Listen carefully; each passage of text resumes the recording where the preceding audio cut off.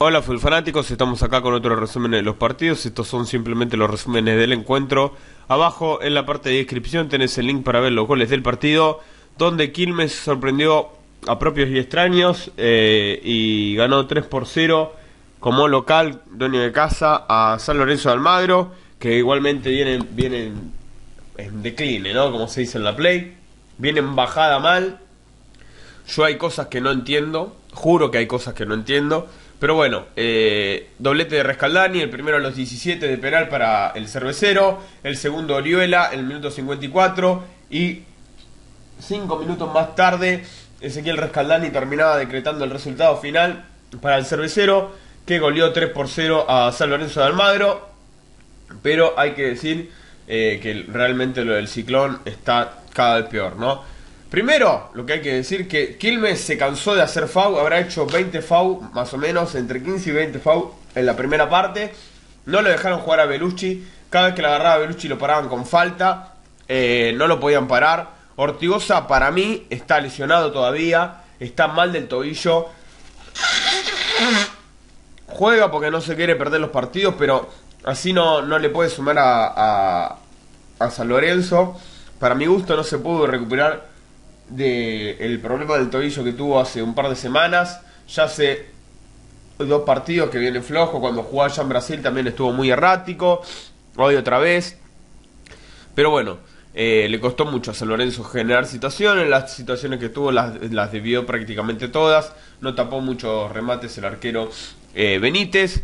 Y bueno, y encima Ahora vamos a repasar el gol. Primero el de penal, eh, para mí es, está bien, cobrado el penal, la mano de Ceruti, el 1 a 0 para, para Quilmes. Aparte ni se quejó el ex hombre de San Lorenzo, Sarmiento, el ex hombre de Estudiantes Sarmiento y Olimpo.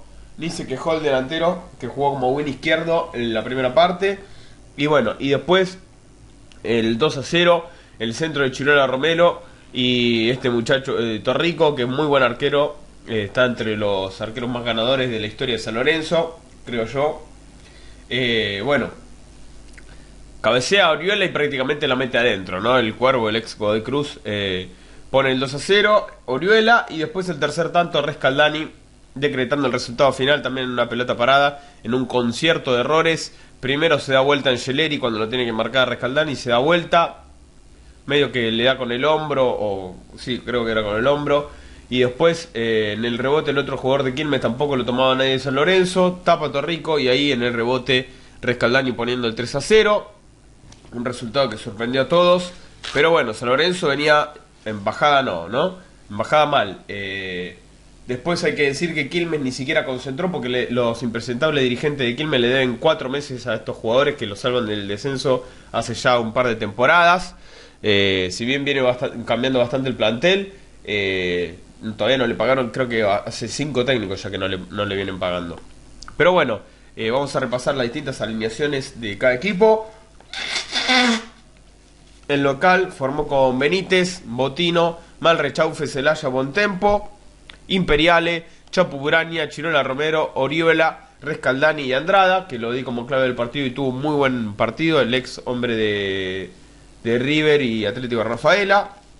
El visitante fue con Torrico, Buffarini, Angeleri, Caruso más, Musis, que jugó un muy mal partido, con la pelota sobre todo, Ceruti, Ortigosa, Belucci, eh, Cauterucho y Nicolás Blandi. Eh, a, Cauterucho lo hacía jugar prácticamente win derecho en el primer tiempo. Eso es perder a un jugador, es ser terco, ¿sí? Eh, déjate hinchar, te van a echar, que en serio te digo, empezás a hacer las cosas bien porque te van a echar. Ya Tinelli no te banca. Eh, yo creo que si querés jugar con dos wins, la mejor opción era jugar con Villalba. Pero bueno, eh, con este resultado quedó bastante, bastante lejos, puede quedar San Lorenzo. En las pocas fechas que van, ¿no? En ocho fechas. Eh, está séptimo con 12 unidades, a 5 de Godoy Cruz. Y bueno, si gana Rosario Central también le saca 5 en solo 8 eh, partidos. Dicho esto, suscríbanse al canal, pongan me gusta en el video, comenten y compartan. Abrazo de gol. ¡Chau!